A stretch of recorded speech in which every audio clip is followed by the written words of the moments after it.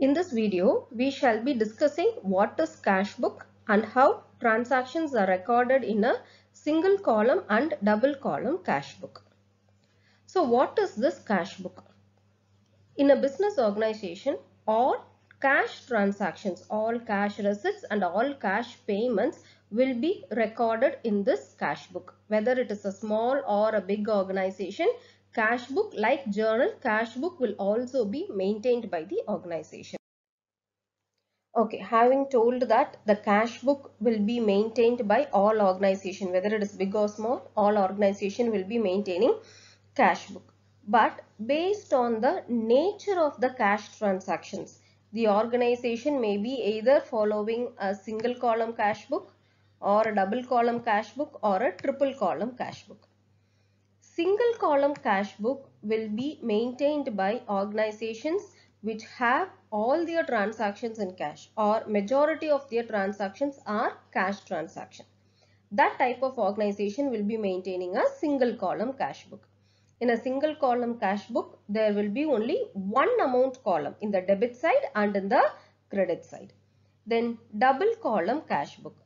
So in today's business organization, businessmen usually prefer to have their transactions through bank. Whether they are receiving money or they are paying money, they prefer to do it through bank accounts. So in such cases, there will be a lot of bank transactions also. So they will be maintaining a double column cash book. Under a double column cash book, there will be two amount columns. One for the cash column and the other one for the bank column. Under a triple column cash book, one more column will be there. Three amount columns where cash, bank and discount column will be maintained. Whenever discount is received or discount is allowed, that will also be recorded in the triple column cash book. So these are the three ways in which cash transactions will be recorded in the cash book. The other one is the petty cash book. So petty cash book will be maintained by the cashier. In a business, there will be a lot of day-to-day -day expenses, small, small expenses like uh, purchasing postage, purchasing stationery, paying small conveyance. Likewise, small, small petty expenses will be happening in an organization. This will be routine expenses and in very small amounts. So this account will be maintained by the cashier and it will be recorded in the petty cash book. So petty cash book is a cash book where petty expenses will be recorded and maintained by the cashier. Okay, now let us see the format for the cash book. So the cash book uh, will be in the form of a ledger. We have two sides. Left hand side is the debit side and the right hand side is the credit side. And in the left side we will have a date column, receipts column, LF and amount column. In the credit side again we will have the same thing. Date, payment column, LF column and one amount column. This is an example for single column cash book. If it is going to be a double column cash book, then you will have two amount columns, one for cash and the other for bank. That is the difference between the single column and double column cash book. Okay. Now, how to record transactions in the cash book? See, in the debit side, we have used the word receipts. Receipts mean whenever money comes into the business, it will be recorded here in the debit side. So, whenever cash comes into the business, it will be recorded in the debit side. And the credit side it is payments. That is whenever cash goes out of the business it will be recorded in the credit side. So whenever cash comes in debited cash goes out credited this is the simple logic. Cash book is actually very easy. Money comes in record it in the debit side money goes out record it in the credit side okay now i have taken a few transactions let us see how we are going to record these transactions in a cash book. So before recording transaction in a cash book, we have to remember two things. One is whenever cash comes into the business, the account should be debited. If cash goes out, the account should be credited. The other important point while recording cash book is the, the transactions for which cash is not at all affected, those transactions will not be recorded. If cash is not affected in the transaction, then that transaction will not be recorded in the cash book. Okay, having said this, let me tell you how to record the transactions. So I have written the template here. Date column, receipts, LF, amount, date, payments, LF, amount. Now, what is the first transaction that I have taken? Cash in hand. Cash in hand means opening balance. We are opening the account with 12,000 rupees. Cash is an asset. For all assets, whether it is land and building, plant and machinery, stock, debtors, whatever it is, or for all assets, the opening balance will be recorded in the debit side. So for cash also, we are recording the opening balance in the debit side. To balance brought down. The opening balance will be recorded as balance brought down. Closing balance will be recorded as carried down. This is the opening balance. So we are using the word brought down. And we have to write the date. It is December 16 and 1st. This is the date. Okay. Now moving on to the next one. Cash received from Banu. So in this transaction, what is happening? Cash is coming into the business and who is paying cash? Banu is paying cash. So since cash is coming, we have to record it in the debit side to Banu's account. Write the date and record the transaction. Write the amount in the amount column. Then on 7th, rent is paid. When rent is paid, what happens? Cash will go out of the business. For what we are paying cash? For rent. So write the date December 16, 7th and for rent we are paying cash. So by rent in the credit side write the amount. Then the next is purchased goods for cash. When we are buying goods, when we are purchasing goods, what happens? Cash will go out. If cash goes out, we have to record it in the credit side. By purchases account, write the amount in the amount column. Then sold goods for cash. When we are selling goods, cash will come into the business. When we are buying goods, cash goes out. When we are selling goods, cash comes into the business. So we are recording it in the debit side. 15th to sales account, write the amount in the amount column. Then purchased stationery 300 rupees. When we are purchasing stationery, what happens? Cash will go out. So we are recording it in the credit side. By stationery account 300 rupees in the amount column. Then sold goods on credit. This is the transaction which I told in the beginning. Transactions in which cash is not at all affected, that transaction will not be recorded here. In this transaction, sold goods on credit, what happens? We are selling goods, but cash does not comes into the business. Our buyer did not pay cash. He is the debtor of the company. He did not pay cash. So this transaction is a non-cash transaction and this will not be recorded in the cash book. Okay, moving on to the next one. Cash paid to Rahul. We are paying cash to Rahul. When we are paying cash, cash goes out of the business and we have to record it in the credit side. Paid salary. When salary is paid, cash goes out of the business. So we are recording it in the credit side. Then paid rent. Paying rent, cash goes out of the business. We are recording it in the credit side and writing the amount in the amount column. So that's all. We have recorded all the transactions. After recording all the transactions, we have to tally this account. I have already explained what is tallying the account in my ledger accounts video.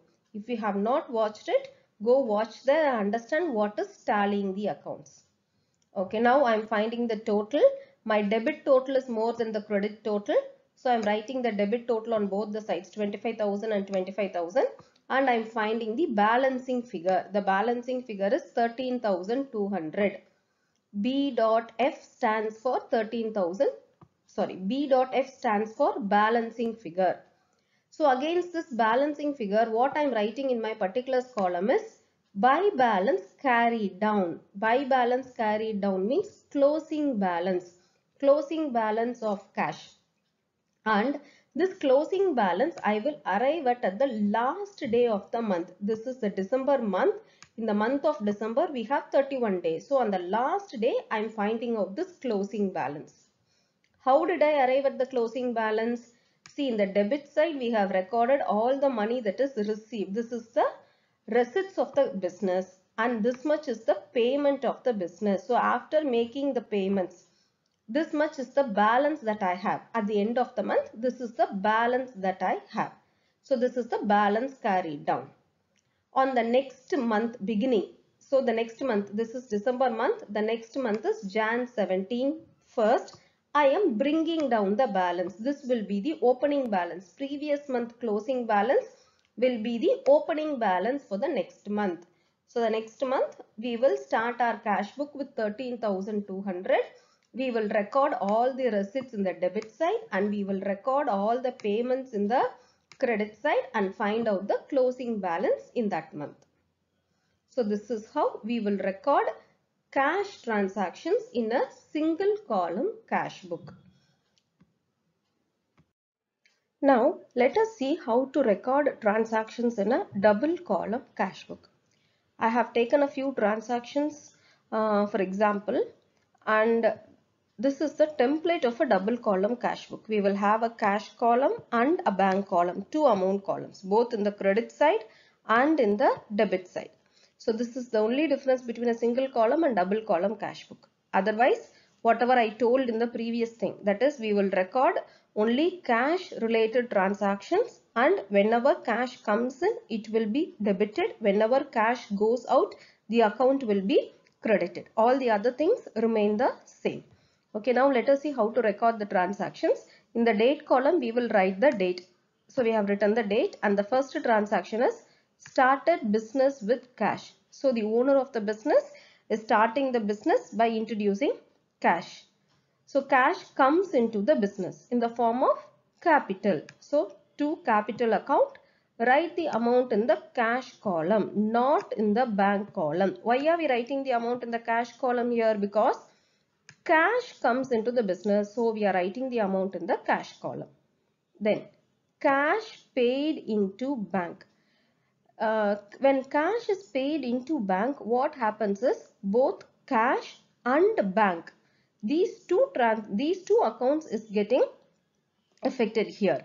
Uh, this happens under two situations when cash is deposited and cash is withdrawn. So under these two situations, both cash and bank account will be affected. How to treat this? This entry is called as contra entry.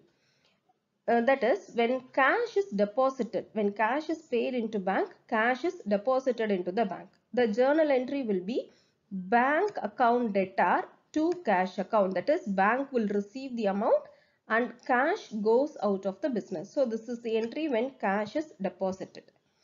How to record this here? So here when you are recording ba bank account, you have to record it in the credit side by bank account and to cash account you will record it in the debit side. And how to enter the amount? When you are entering the amount for bank, from the banker's point of view, cash comes into the business. So for the banker, we are debiting and from the business point of view, cash goes out of the business. So we are crediting cash. For the banker, cash comes in. So we are debiting. For the business, cash goes out. So we are crediting cash account. I will explain this once again. In a contra entry, when cash is deposited, what happens? Cash goes out. So we are in the credit side since cash goes out in the credit side in the cash column we are writing 50,000. For the banker cash comes in. So when cash comes in under the bank column we are writing 50,000 rupees.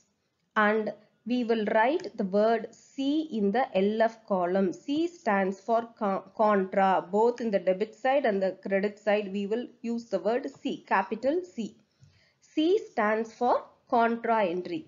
Why are we writing the C in the LF column is you all know LF means ledger folio. The page number where the particular uh, ledger account is recorded that page number will be written here. But for these contra entries separate ledger account will not be opened. To indicate that only we are writing C contra in the LF column. Okay now moving on to the next one purchased goods from Sushmita. So goods are purchased from Sushmita and cash is not paid. As I already told you, Only transactions which affect cash or bank account will be recorded. Here this is credit purchases. It will not be recorded in the cash book at all. Okay, moving on to the next one. Sold goods to Dinakar and received a check of rupees 20,000. Okay, we are selling goods to Dinakar. When goods are sold, what happens? Cash will come into the business. So, we are recording it in the debit side. To sales, I have recorded. But we have received a check. We have received a check and it is not mentioned that we have deposited the check on the same day. Since we have received the check and the check is not deposited, we are treating it as cash receipt only. Cash only comes into the business and we are recording it in the cash column. We are treating it as cash and we are recording it in the cash column. And see when the check is deposited. Look at this transaction on 14th. The check received on December 6th. The check is received on December 6th. So the check that has been received on December 6th is deposited into bank. When it is deposited? On 14th only it is deposited. When the check is deposited, it will be treated as a contra entry. It will be treated as deposit just as the previous example which I told you. When check is deposited, it will be treated as a contra entry. Bank account data to cash account. So on 14th, see on 14th we have written by bank account and in the debit side we have written it as to cash account. When a check is deposited for the banker cash comes in and for the business the cash goes out. So cash account is credited and bank account is debited. And we are writing C contra in the LF column on both the sides on the debit side and in the credit side we are using the word C in the LF column. Okay moving on to the next entry. Gave check to Sushmita. So, we are giving check to Sushmita. When we are giving check, what happens? Cash goes out. We are paying. When we are making a payment, it should be credited. So, by Sushmita's account and we are writing the amount in the bank column because we are not giving cash. We are giving check. So, in the cash column, you will not write anything. In the bank column, you have to record it as 20,000 rupees. Then this entry I have already explained. So moving on to the next one. Sold goods to Rani. So here we are selling goods but cash is neither received or check is received. So this transaction will not be recorded in the double column cash book. Moving on to the next one. Cartage paid in cash. We are paying. When we are making payment, it should be credited. So by cartage and since we are paying in cash, I am recording it in the cash column 500 rupees. Then received cash from Rani. We are receiving cash. When you are receiving cash, it should be debited. So in the debit side to Rani's account, since we are receiving cash, I am recording it in the cash column 12,000 rupees. Then commission received. We are receiving commission cash comes into the business. So we are debiting it to commission account and we are writing the amount in the cash column. Then paid rent through check. We are making a payment. When a payment is made, it should be credited. So in the credit side by rent and how are we making the payment? Through check. So in the bank column, I am writing 5000 rupees. If it is cash payment, we will write it in the cash column. If it is paid through check, we will write it in the bank column. Okay, then the last one is drew cash for personal use. Taking cash for personal use, it is drawings.